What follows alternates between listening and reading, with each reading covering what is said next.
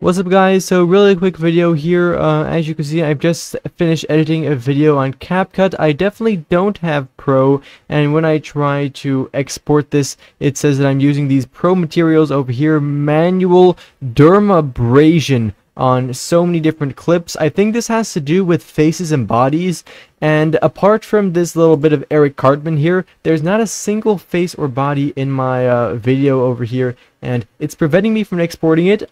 I uh, was luckily enough able to find a fix, so today I'm going to show you exactly how you can fix this as well.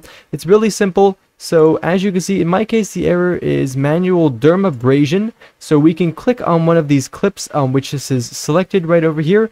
And so, for example, it's this one.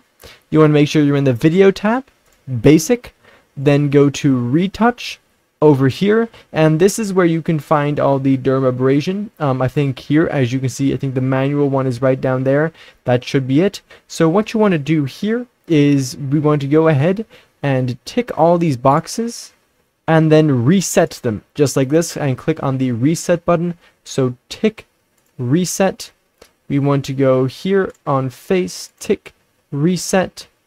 Uh, there we go. So the features here as well. Tick that, reset it. Tick that one and reset it.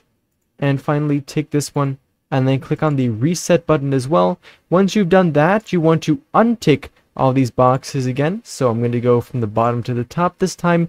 Untick each of these boxes piece for piece, skin, and then finally we have the auto styles up here. And now when I click on export, um, and the top clip is no longer that one, but instead it has moved. This one has disappeared from the list um, of clips, and it's been shortened a little bit. Sadly, there's still a long ways to go for me uh, removing this from all of them. It's really, really annoying. Uh, it's a bug, supposedly, although CapCut has just increased the price of Pro. In case you guys didn't know, I think, look at that, it is $29.99 a month. That is absolutely ridiculous. I do not at all think this is a bug. I think um, CapCut did this on purpose, you know, to try to get people. Uh, they've just finished making an edit. Like, I've got an entire whole video right over here. I put a lot of effort into this, and then I literally couldn't export it, um, which is, of course, incredibly annoying.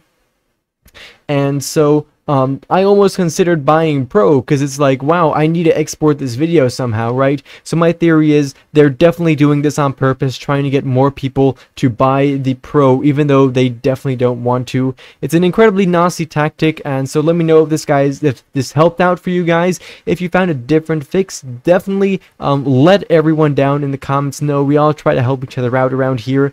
Um, alternatively, something I've also found is if you don't mind a little drop in quality, you can also just watch your own video here in full screen um, and you can just screen record this.